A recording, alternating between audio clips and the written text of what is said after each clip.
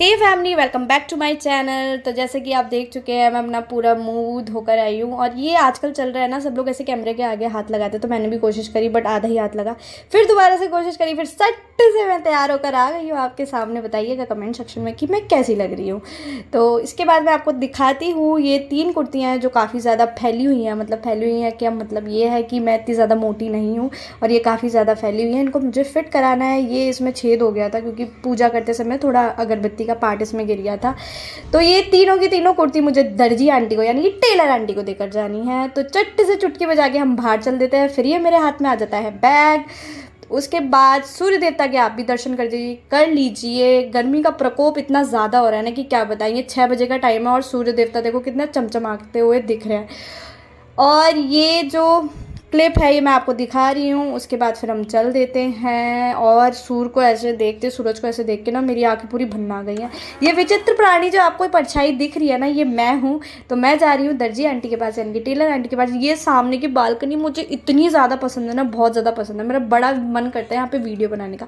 फिर यहाँ पर मैं चल देती हूँ दर्जी आंटी के पास, यानी कि टेलर आंटी के पास, जो मेरे घर से थोड़ा सा ही दूर है, गली से बाहर निकलते हुए। फिर मैं जाती हूँ अपनी दोस्त के वहाँ।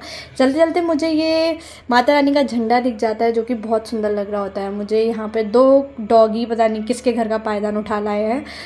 आई थिंक सामने वाले घर का। फिर यहाँ पे मुझे मिल जाती है मेरी सखी, यानी कि मेरी दोस्त।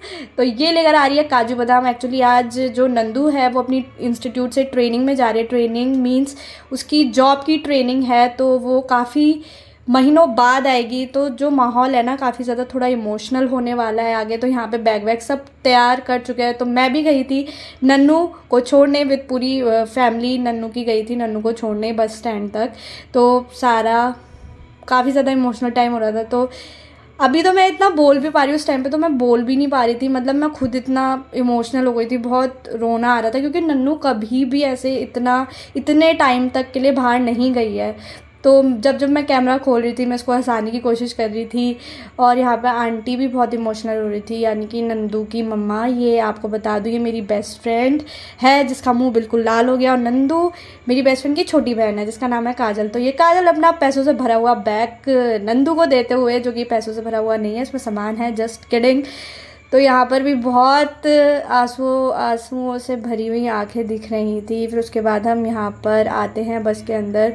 नन्नू को नींबू चटाते हुए क्योंकि उसको उल्टी वगैरह हो जाती है बट वो माँ की ममता होती है ना तो इसलिए वो लेकर आए थे। बट एसी वाली बस है उल्टी उल्टी की कोई दिक्कत नहीं होगी। फिर यहाँ पर हम नंदू को बाय कहते हुए और उसको ऑल द बेस्ट कहते हुए कि वो जल्दी आएगी और बिल्कुल अच्छे से कामयाब हो गए फिर यहाँ पे बस चली जाती है। Thank you for thank you for watching this vlog tata bye bye अब मिलते हैं नेक्स्ट व्लॉग में. सो so फैमिली अगर आपको ये ब्लॉग अच्छा लगा हो तो प्लीज़ लाइक करें कमेंट करें एंड शेयर करना ना भूले. तो ये ब्लॉग काफ़ी ज़्यादा इमोशनल होता. मतलब था ही इमोशनल बट मैंने उसको इमोशनल नहीं होने दिया. क्योंकि वो एक अच्छे काम के लिए जा रही है और वो कुछ महीने बाद आएगी बट मुझे भी सच में मतलब मुझे खुद बहुत ज़्यादा इमोशनल हो गई थी मैं, क्योंकि काफ़ी ज़्यादा वीडियोस मैंने उसके साथ बनाई हैं। और मतलब एक छोटी बहन जैसा ही रिश्ता है उसके साथ। सच में बहुत मतलब दिल से गले लगी मैं उसको और मैंने उसको काफ़ी ज़्यादा ब्लेसिंग दी कि वो अच्छे से करे अपना काम और अच्छे से आए अब फिर वापस। तो बस यही सब था। अगर आपको ये ब्लॉग अच्छा लगा हो तो प्लीज़ सब्सक्राइब करना ना भूले शेयर करना ना भूले। और माता रानी आप सब पे अपनी कृपा बनाए रहे।